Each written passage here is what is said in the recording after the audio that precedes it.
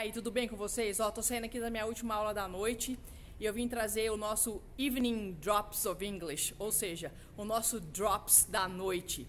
É o seguinte, pessoal, o Drops de agora é Get There. É, Get There é chegar lá. Exatamente. Sabe quando você faz alguma coisa e você vai Get There? Então, você vai chegar lá, é isso aí. Agora vamos aos nossos exemplos. I'm training to get there. I think he's studying to get there. Are you gonna get there? Beleza? Fica aqui então o Drops de agora à noite e eu volto com vocês amanhã de manhã. Falou? Um abraço!